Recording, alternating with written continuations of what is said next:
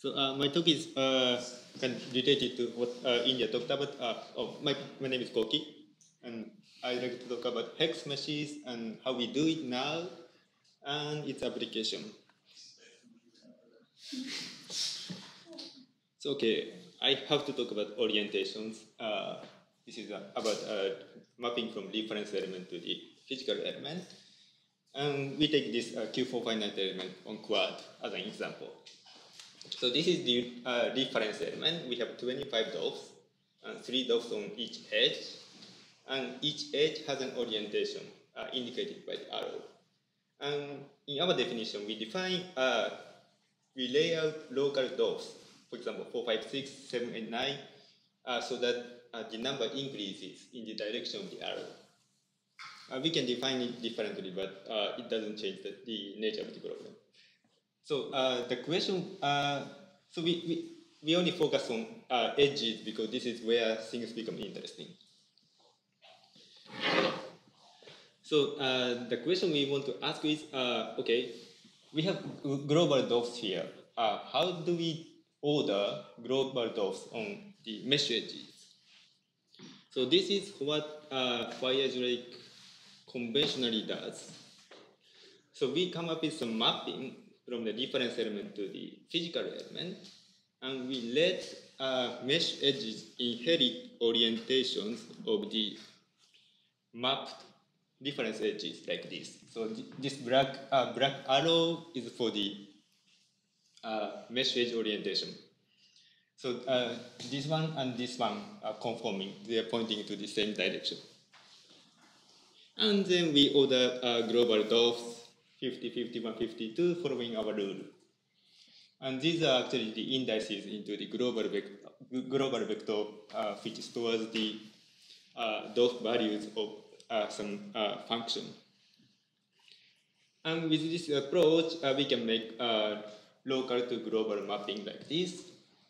So this LG map is with this LG map, uh, 789 are mapped to 50, 51, 52. So this is mapped to this. So the advantage of this approach is uh, this construction of LG map is simple. So we only have to remember 7 and 50 and just keep adding 1. The disadvantage of this approach is uh, because we have already determined the orientation of this edge, uh, the mapping from this element to this element is no longer arbitrary. But uh, in this example, uh, we can uh, we can come up with a mapping, for example, like this, which uh, with which we can make uh, LG map like this, which are again are very simple. So here's another example. So the first mapping is uh, arbitrary. The second mapping has some constraint, but we can still come up with something and we can keep doing this. And we have no problem uh, with this uh, plane strip example. But this conventional approach doesn't always work. And here's the uh, Mobius strip example. If we try to take the same procedure, by the time we get here, uh, we realize that uh, there is no mapping from the reference element to this last physical element. So for example, if we did this, uh, we would have some conflict here. We don't know, uh, we have no way to determine the physical edge orientation here. And we don't know how to order those. And the problem is that uh, this happens in, uh, the same happens in hex meshes. That is why we care. And we need some alternative approach. And this is how uh, we do it in Firedrake currently. So what we do is uh, we determine edge orientations first independent of the uh, mapping, and then uh, already order those. And then uh, we think about uh, how we do how we do mappings. Now these uh, reference element to physical element mappings are completely arbitrary, but we have to do uh, more work when we make LG maps. So for example, for this element on this edge, uh, 789 are mapped to 52, 51, 50. So we have to apply reverse permutation here. So this is indicated by, the, uh, uh, by these uh, black arrow and blue arrow pointing in different directions. And same thing happens for this element on this edge. So uh, for this 1D edge uh, example, we only have to consider two permutations. But uh, if, we, if we had, for example, a triangular facet, we would have to consider six different permutations uh, depending on how we map the reference element to the physical element. And maybe this is something uh, India will simplify, but so, uh, so okay, at least for this current approach, uh, we have to have a very good understanding of uh, how we map the reference element to the physical element and do some work to make the LG maps. But this is robust, and we can now do hex meshes uh, for P, DP, Q, DQ finite elements. And India will ex extend this. okay, now, uh, today I'd, I'd, like to talk about uh, some application of the hex mesh the absorbing boundary condition for the Helmholtz equation. And we are interested in solving the Helmholtz equation in this unbounded domain. Here x0 is some negative number. And we assume that there is no source on the right half space. So what we expect is the outgoing wave solution, the wave uh, propagating to the positive x direction. And there should be no incoming wave. But the standard uh, numerical methods like finite element method require a finite computational domain. So what we do is we truncate the domain somewhere. Uh, in this case, uh, we truncate the domain at x equal to 0. And we solve the standard Helmholtz equation in this smaller domain, which we call the physical domain. And then uh, we solve a Helmholtz-like equation in the small domain, small domain attached to the physical domain. And we call this uh, the artificial domain, hoping that this uh, will represent the original unboundedness. So there are many methods, uh, perfectly matched layers, PMLs. This basically introduced damping in the artificial domain. And we have perfectly matched discrete layers, PMDs, which can be derived from PMLs, but usually outperform PML. And we came up with something new uh, recently, which basically uh, generalizes uh, PMDs. That is what uh, I'd like to introduce today. So uh, one example, we use uh, Q4 finite element, uh, Q4 or P4 finite element. And this is the Helmholtz-like equation. And this is the boundary condition, a physical boundary condition we apply on the left of the boundary, left of the domain and this is the boundary condition we apply on the uh, end of the artificial domain. And gamma is complex, and we vary gamma uh, in this region in the complex plane, and this is the uh, physical domain plus artificial domain. So we have three elements in the uh, artificial domain. Uh, and in the context of PML, we say uh, we have three layers in the artificial domain. And Gx is assumed to be 1 in the physical domain, which means this equation reduces to the standard Helmholtz equation in the physical domain. And it takes some complex profile in the artificial domain, depending on the method we use, PML, PMDs, or something else. And for this example, uh, we know the exact outgoing wave solution. So what we do is, uh, given gamma, we compute solution and compare that against this U exact and compute the error. So let's first try uh, G equals, equals to 1. So basically we solve the Helmholtz equation everywhere with Dirichlet boundary condition. And this boundary condition produces reflection, so we have incoming wave, so the error is large. So standard PML, uh, G, G is 1 in the physical domain and takes some uh, complex polynomial profile in the artificial domain. Uh, this is, uh, we can do this in Firedrake using conditional. And the error is much smaller. Good. And we now cons uh, consider slightly different version of uh, PMLs. The layer-wise constant PML. Uh, G of x is just layer-wise constant we can do this in Firedrake uh, by nesting conditionals. And this is the error we get. Uh, we are actually expecting uh, anything better than the regular PML, and usually this layer-wise compressed, uh, layer-wise constant PML underperform the standard PML. But the proposed uh, absorbing boundary condition is based on this layer-wise constant PML. So in the artificial domain, we have layers, and on each layer, G is constant.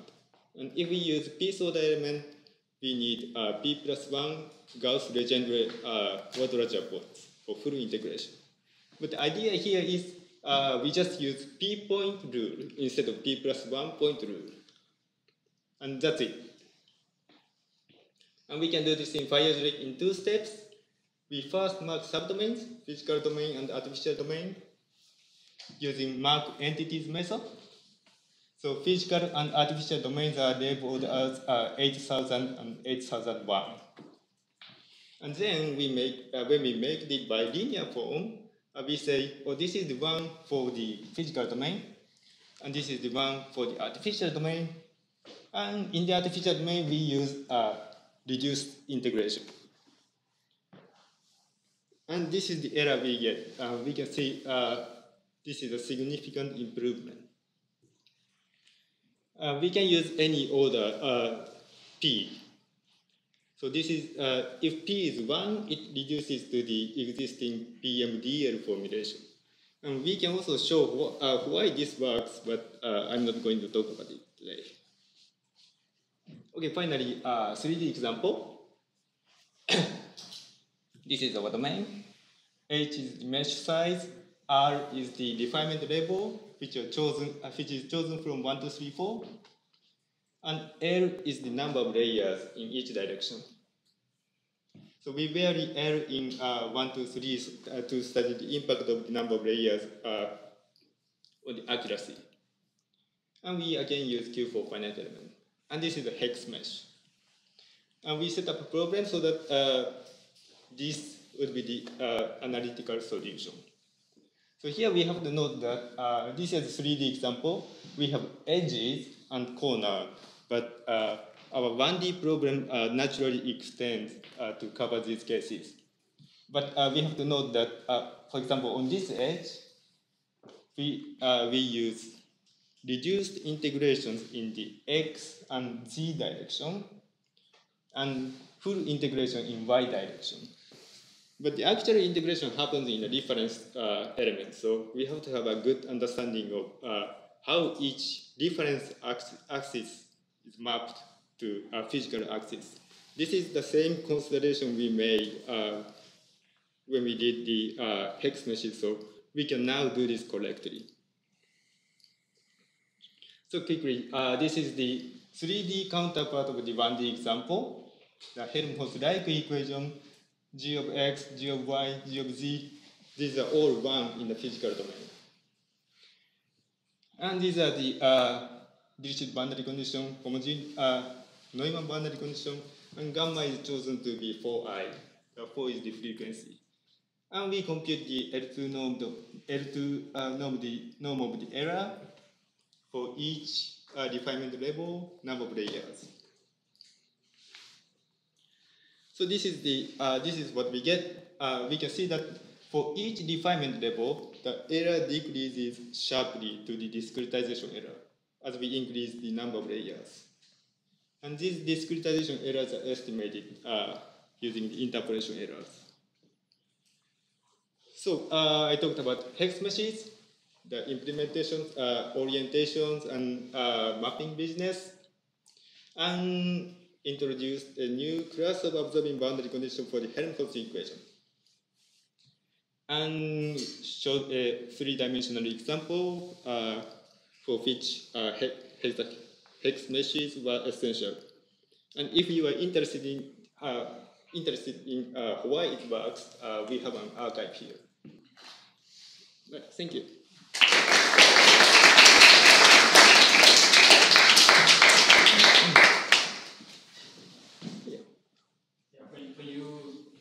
define the integration measure for the reduced integration, you say degree equals b, and you wouldn't degree equal two times b plus one or something like that? Uh, p, if we if we use p, p, is the number of points that you want. uh, yeah, So the quad- Really? uh, yeah, Yeah. So the quadrature degree should be two times that. Something like that. I know because you're um, you're uh, instructing the. Oh, hang on, what's going on? I think that says uh, Integrand what, is degree yeah, degree. what degree integrand, what polynomial degree do you want to integrate exactly? Yeah. But then Uh, actually, th- this means at least this box. this uses p points. That really Yeah. that's that's the degree you have. wrong. Maybe one D. No, maybe that's still wrong. I'm concerned. It works though. yeah, it works in this case, but all those people out there who think that they are specifying their incomplete quadrature in uh, Firedrake are then apparently doing the wrong thing. I'm Let's go away and read some source code. Yeah, I think it's source code, that's very concerning. Thank you, hello, I think. Um, Yeah, I always thought it was like what degree polynomial do you want to integrate not what Mhm. number of points do you want the quadrature to take. That's what I thought it was as well. Um, I mean, the thing is, what you, so if that is true, then what's going on here is that you're under integrating more aggressively. Maybe that's fine. Uh, that shouldn't work. Is that how you wrote in code? Or Uh, could be a typo? No, uh, this is not typo. I, I'm pretty sure this uh, this this means uh, two p two p plus one uh, degree polynomial. It is exactly uh, integrated. That is a bug. Um, Yeah. And that was a feature. no, no, it's not. You really, really, really cannot have a keyword called degree that does that. It's just not okay. Uh, are there any further questions? Uh, we got a mesh generator that gives us unstructured hex to meshes? No, because no one else does that. Um, Generated that mesh by hand. well, these are, I mean, the, these are structured meshes, so it's fine. Yeah. Uh, Gmsh LED triangles. Gmsh will give you um, no. G- G- it'll give you quads, but it'll give you what hex dominant is the term they use. So hex dominant means that there's still some hex in there and probably some pyramids. We can, actually we can fix that, I will show you. Okay. Purely one. No, purely quad is fine. Purely hex is We hard. can do that. Really? Hex Wow. being hexagon or hexahedron? Hexahedron. Right. Uh, so if you want to solve finite elements on hexagons, then you can like deal with your own problems. yeah. That's, there are so many issues with that that we have. uh, Hexagons. Uh, it's John Tubman still trying to solve finite elements on X. We might need parentheses. Just have Yeah. a simple question probably.